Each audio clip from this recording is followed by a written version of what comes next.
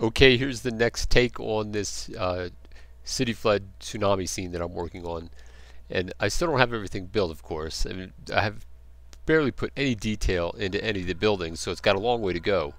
But I have the general layout. I know what I want to do with the scene now. And this is rendered resolution of 225 on the water this time, and the cycles resolution was 45. The entire simulation and rendering took about uh, almost two hours for 150 frames. All right, let's see what it looks like.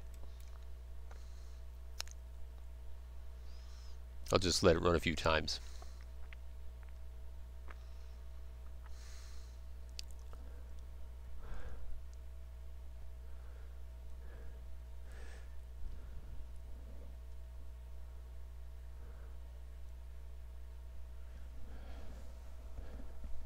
So now that I have the basic scene laid out and I have the colors the way I want, I'm balancing of course the blue with a lot of these reds in the city.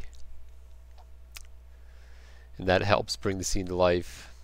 But it's really be the details that I'll start putting in the city at this point, which will really give it some real life to it and maybe add some wind to the trees and some other effects. The one thing you can't do with this level of simulation, you can't let the you can't make the water interact with other objects. It can go around objects, but it's not going to move other objects.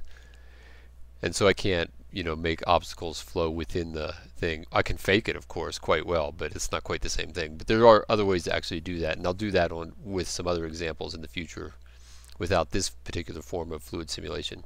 But this form gives you pretty nice movement.